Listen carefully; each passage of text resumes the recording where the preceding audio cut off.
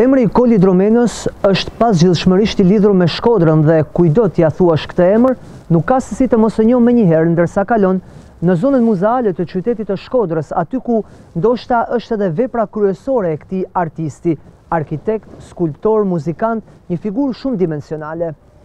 E në varrezat katolike të Rrmajit ndodhet edhe varri ku prehen eshtrat e tij. Në nëntorin e vitit 2015, qeveria shqiptare në kuadër të rikualifikimit të kësaj zone, vendosi restaurimin e këtij varri monumental. Por për fat të keq, kur po mbushen 5 vite nga vënia dorë, situata është e tillë. Një restaurim i pjesshëm, që nuk vonoi ta rikthente varrin ashtu si vite më parë, të dëmtuar, thuajse gjysmë të shkatërruar. Studiuesi Pjetër Logoreci ka vendosur që së bashku me klerikun Dom Nikë Ukgjini dhe skulptorin Ferit Kola t'i rikthehen këtij varri monumental që shteti dështoi në restaurimin e tij. Duke i bërë thirrje biznesmenëve dhe dashamirësve të kësaj figure, ata synojnë që brenda një kohe të shkurtër të kryejnë ndërhyrjen e plotë për ta kthyer në identitet këtë varr me status të veçantë. Mora dhe Ferit Kolën që u impenjua dhe pse ka pësu traumë prej Zef, atij nuk e di si e ka mbiemnin, e prej ministres ku maru, ka pësu traumë i shkreti, ka ba mund dhe ka hell, e prapë po angazhohet edhe një herë me i ba e në gjithën e mi, po pra u bam si tim e vogël, si grup i vogël për me mujt me realizu këtë, me, me ia ba Shkodrës nderë, sepse asht nderë i Shkodrës. Ky burrë është pika identifikuese në Shkodër. E para këtij, Shkodra ka kanë një katund i madh, që me e identifiku, gjaja ma e bukur ka kanë bashkia që asht sot, katedralja, kisha e fretënve dhe edhe ndonjë gja nuk e di që s'po më kujtohet për Shkodër, e ka kanë katund i madh.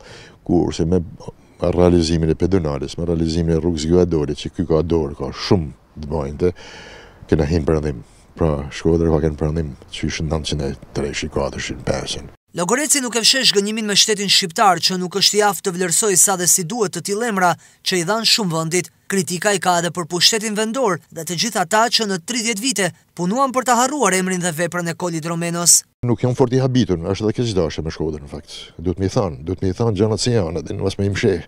Është edhe keqdashje me Shkodrën. Ë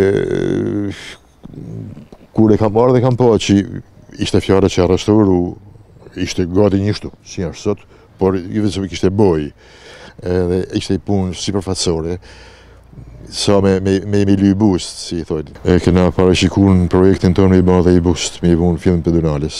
Bust jo të madh, se s'kena pa aq shumë pare, po i bust me i vu sepse është personi që identifikohet me Donalja. Kurse për shtetin shqiptar, shteti shqiptar çka me thënë unë, si si puna e këtij ka me qindra figura, që aty ke kam eksperiencën e një kollkaçorri që s'më doli kërkush me m'prit as me që ishte figura që kena shqipnisët, që kena kët kët taban ku kam vu kamcët. A kupton, kështu që nuk kam as pretendim. Ku di njerëz veç për pa xhepin me kap, me përdor karrigën e shtetit për m'u fuqizu, m'u pasunu, nuk kam asnjë, nuk kam dysh, kam dy shumë dyshime që shteti shqiptar mund të marrë kësi punësh. Edhe faktikisht urna këtu ke ke. Realiteti është ky. Absurdi me varrin e Idromenos nisi pikërisht në kohën kur u restauruan varrezat katolike të Rrmajit, pasi në nxitim e sipër u ndërhy të restaurohej, por u dëmtua rëndë origjinali. Të njëjtin fat pati edhe varri i Marubëve, Edhe ky sot në gjendje të mjeruar, e ku shteti krenohet vetëm me një pllakatë hekuri, që i quan monument kulture. Asokohe disa herë zëvendës ministri Zef Çuni foli për rikthim në identitet dhe ruajtje të kësaj trashëgimie, por ai së bashku me të gjitha strukturat vendore e qendrore dështuan dhe fjalët ua mori era. Sot degradimi i këtyre dy varrezave janë turpi i shtetit shqiptar dhe kujdo që abuzoi me fondet rreth pesë vite më parë.